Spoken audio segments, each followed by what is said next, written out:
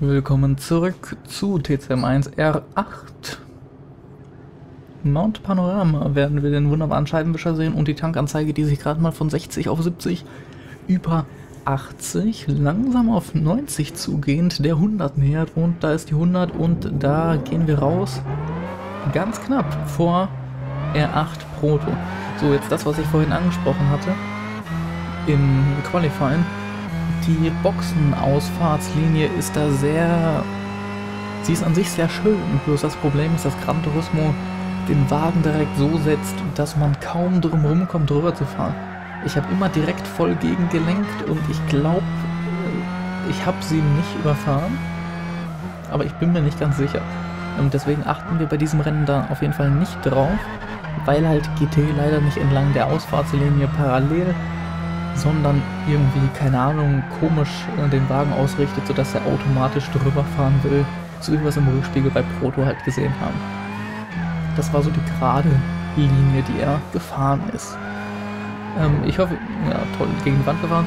Ich hoffe übrigens, dass die Audioqualität einigermaßen stimmt. Ich muss momentan mit dem Pegel ein bisschen rumgucken und wie ich vorm Mikro sitze und so. Ähm, insgesamt denke ich mal, es passt ganz gut, aber Verbesserungsbedarf ist natürlich immer ein bisschen da. Ich bin ja kein Audio-Experte. Auch ein Grund, warum es mich so lange beschäftigt hat, etwas zu kaufen. Man muss sich halt erstmal irgendwie einlesen in das Thema. Das ist gar nicht so einfach. Okay, die grundlegenden Sachen wusste ich natürlich. Aber zum Beispiel jetzt für, für, für so ein Oh, Kurve verpasst. Wofür ich jetzt Mischpult mit sechs Eingängen brauche als Let's Player, das, äh, da muss ich lange überlegen und kam dazu, brauchst du nicht.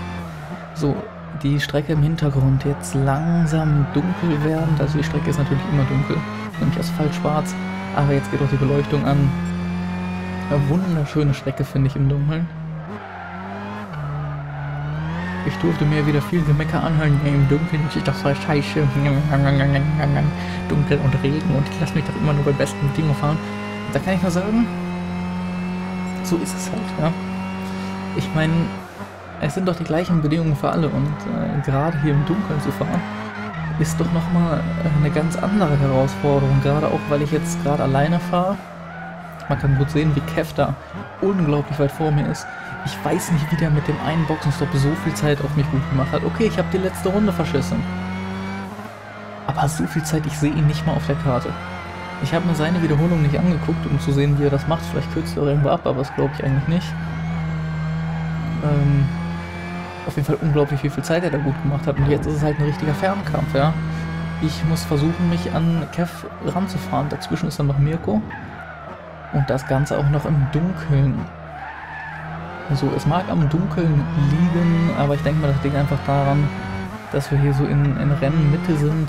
Und die Leistung, die ich hier in diesem mittleren Stint abrufe, ist nicht ganz so geil. Kann ich jetzt schon mal vorwegnehmen.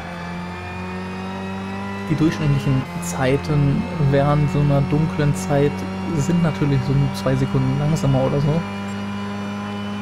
Da hat aber jeder mit zu kämpfen. Ich denke mal, die Leute, die die Strecke gar nicht geübt haben, noch ein bisschen mehr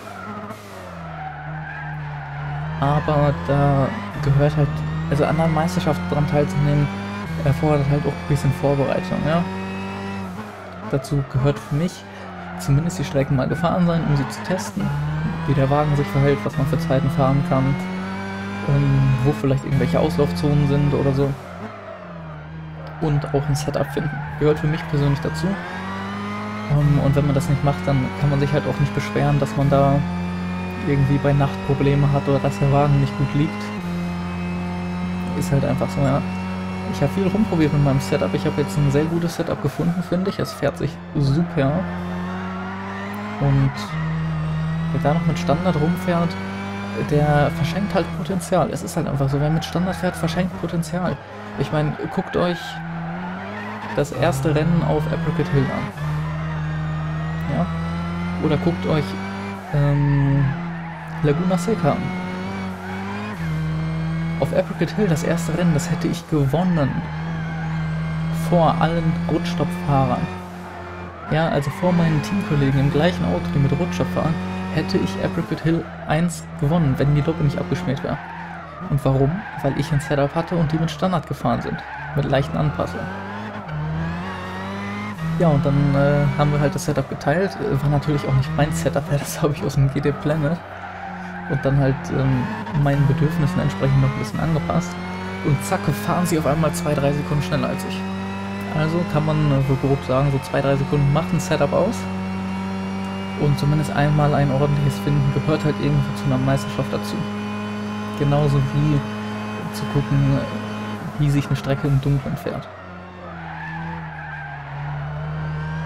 Und ich finde, die konnte man eigentlich echt gut fahren im Dunkeln.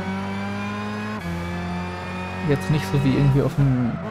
Nehmen wir an Nordschleife. Ja, wir sind Nordschleife noch nicht gefahren. Das letzte Rennen Nordschleife.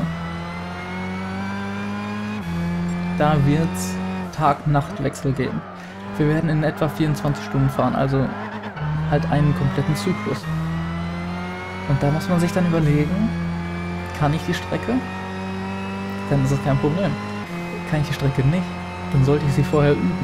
Denn die Nordschleife komplett im Dunkeln zu fahren, das ist natürlich eine harte Sache, aber keine Ahnung, also irgendwie, ich investiere jetzt auch nicht allzu viel Zeit in die TCM. Ich weiß nicht, wie viel jetzt die anderen äh, trainieren. Ich weiß, Team 3 hat jeden Freitag oder fast jeden Freitag irgendwie Probe, wo wir sie zusammen die Strecke noch üben, was sehr vorbildlich ist, aber ich bin froh, dass wir das in unserem Team 1 nicht so gemacht haben. Denn das ist auch immer so eine Sache, da muss er wirklich jeden Freitag um 18 Uhr oder so, ähm, muss er dann da am Start sein. Finde ich jetzt nicht so gut. Gerade weil auch mit Uni-Aufgaben und so, das ne, ist halt immer unterschiedlich, wann ich mal Zeit habe und wann nicht. Und ähm, ja, ich, train ich, trainiere dann aber doch oft relativ, relativ oft mit einer mit, die halt auf dem TS sind. Das sind halt zum größten Teil die Team 3 Leute. Aber ist doch egal. Ja, wir fahren halt zusammen, wir üben, wir testen den Wagen, stellen ein, haben einen groben Vergleich. Und das ist immer eine ganz schöne Sache. Und klar, wenn ich die Strecke nicht geübt hätte, also wenn jetzt GT Academy nicht gewesen wäre und wenn ich die nicht ähm, generell noch ein bisschen getestet hätte, dann könnte ich die auch im Dunkeln nicht fahren. Da könnte ich die im Hellen aber auch nicht so gut fahren. Und gerade bei der Strecke merke ich nicht so einen Unterschied zwischen hell und dunkel.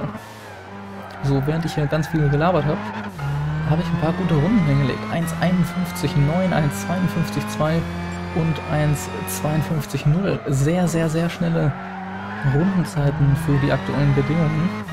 Das ist halt das, was ich sage. Ich sehe hier jetzt nicht so den großen Unterschied. Man sieht die kommende Kurve zum Beispiel noch nicht. Ist ja egal, es geht geradeaus. Und was viel schlimmer wäre, ist, du siehst die Kurve generell nicht. Du musst dir den Bremspunkt grob erahnen anhand deiner Beleuchtung, die du so hast. Aber hier reflektieren die Wände ganz gut, manchmal ein bisschen zu hell. Aber ähm, ich finde das grobe Fahrverhalten und so, dadurch, dass die Strecke halt so eng ist, ändert sich eigentlich nicht. So, ich habe mir schon ganz gut rangekämpft an Mirko. Also ich glaube, den Abstand konnte ich zumindest halten. Was aber viel interessanter ist, Mirko ist direkt hinter Kev und äh, da habe ich dann nochmal richtig einen Schub gekriegt, weil ich gesehen habe, ey, wenn die zusammen da fahren, ne, die halten sich ja sicherlich gegenseitig auf. Wenn sie beide ungefähr gleich schnell fahren, dann blockiert der eine den anderen da und dann umgekehrt. Ne, wie es halt so ist, wenn du mal rennen. Du fährst halt schneller, wenn du keinen im Heck hast. Und da dachte ich mir dann, hoffentlich wird es dann ein langes Duell geben. Und ich schließe dann auf. Und gerade im Midfield sieht es dann immer wieder so aus und pow! Ich wusste, dass das jetzt kommt. Dann so dumm, so dumm, ja. Ich meine, das war total meine Schuld, dagegen zu fahren. Total meine Schuld. Aber trotzdem, warum stellt man da einen Kurvenausgang nochmal so einen fetten Reifenstapel oder so hin? Das ist einfach ein Sicherheitsrisiko. Das wird nie und nimmer bei der echten Strecke so sein. Ich habe es noch nicht nachgeguckt. Wenn ihr, wenn ihr wollt, könnt ihr mich da entweder könnt ihr mir dann eine Bestätigung raussuchen und sagen, ey, du liegst falsch, das ist auf der echten Strecke auch so. Aber das ist genauso, wie ich auf, äh, auf Suzuka gesagt habe, für die, für die GT5-Sachen, die man da gefahren ist, wo man halt rausgekommen ist und dann in, ins Kiesbett so ein bisschen. Und ich gesagt habe, das ist doch ein Sicherheitsrisiko, da ein Kiesbett hinzumachen, ja. Wieso macht man da nicht auch Asphalt hin? Und Regulus hat es nachgeguckt und zack, da ist in Wirklichkeit Asphalt. Genauso wie ich nicht glaube, dass da so ein scheiß Reifenstapel steht. Und das hat mich über Sechs Sekunden gekostet. Sieben Sekunden hat mich das gekostet, dagegen zu fahren. Rückstand auf Marvin an der Stelle 48 Sekunden. Ich weiß, dass den Rückstand nicht den Mirko da auf Marvin hat. Dann geht es nochmal hier in die Wand. Und da war für mich irgendwie der Rhythmus raus. Ich bin bis jetzt ganz gut gefahren, aber jetzt war der Rhythmus halt irgendwie weg. So total. Und jetzt wird das ein Chaos hier, weil ich da zurechtfahre. Das ist echt nicht mehr schön. Und ich hätte nicht gedacht, dass ich so viele gute Runden im Dunkeln gefahren bin. Hat sich wesentlich schlechter angefühlt. Ähm, aber ich kann mich daran erinnern, wie ich halt Marvin gesagt habe, Alter, diese Rundenzeiten, ne?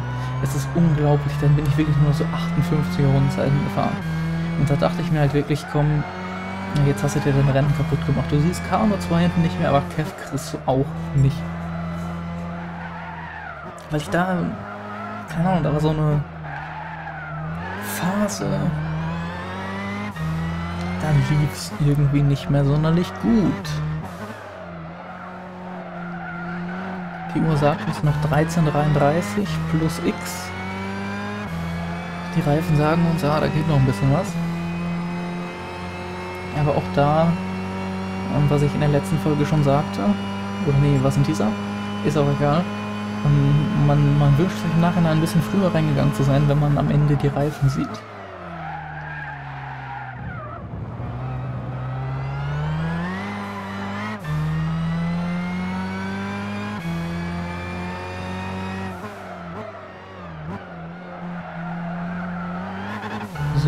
Nächste Rundenzeit kommt. Schauen wir uns doch mal an, was wir da haben. Es ist eine 1,56. Vier Sekunden verloren.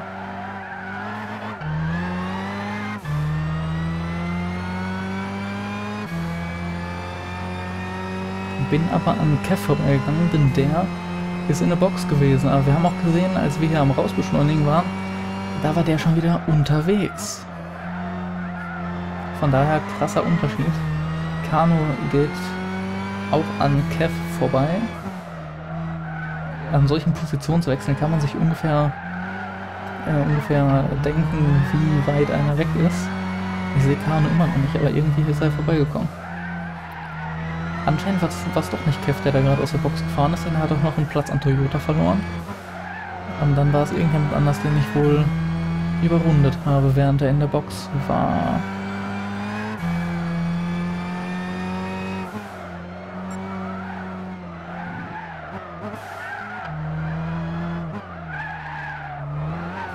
So, Reifen sehen eigentlich noch ganz okay aus. Ich weiß gerade gar nicht, ob ich jetzt reingehe. Aber ich denke mal ja. Denn es wäre ja eigentlich wirklich blöd, da noch weiterzufahren. Da wieder relativ nah an diesem Reifenstapel vorbei. Also teilweise, wenn man sich die Wiederholung immer genau anguckt, das sieht man in der Wiederholungskamera sehr gut, das ist teilweise so unglaublich eng, ja. So unglaublich eng, wie man da vorbeifährt. Aber es ist halt die Ideal äh, die Ideallinie, die da lang führt. Ja, du nimmst halt die Kurve so weit raus wie möglich. So, fahren wir rein oder fahren wir nicht rein? Ich würde sagen, wir fahren rein. Wir fahren rein, wunderbar, Boxeneinfahrt, wieder aufpassen, komische Boxeneinfahrt immer noch. Und getroffen. So, wie viel tanken wir denn? Na, hm, mal überlegen, wir haben noch relativ viel drin. Wir brauchen jetzt nicht so lange, nehmen wir mal 10 Liter raus und dann passt das. Wird wahrscheinlich nachher zu viel sein, aber lieber zu viel als zu wenig. Und damit verabschiede ich mich. Bis dann. Tschüss.